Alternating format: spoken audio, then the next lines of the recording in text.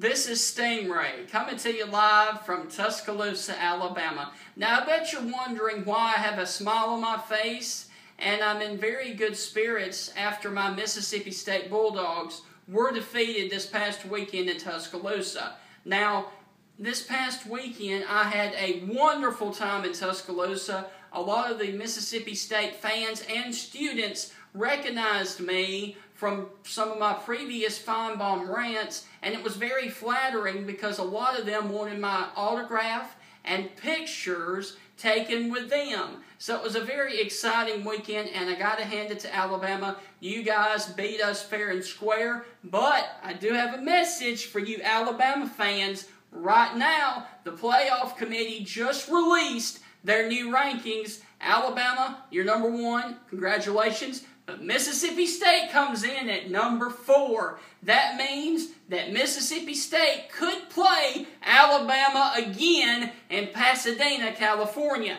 And let me tell you something. If Alabama, Mississippi State square off again, State prevails this time, boy. I'm telling you that right now. Now, this weekend, we have to turn our attention to the Vanderbilt Commodores and then next week against Ole Miss.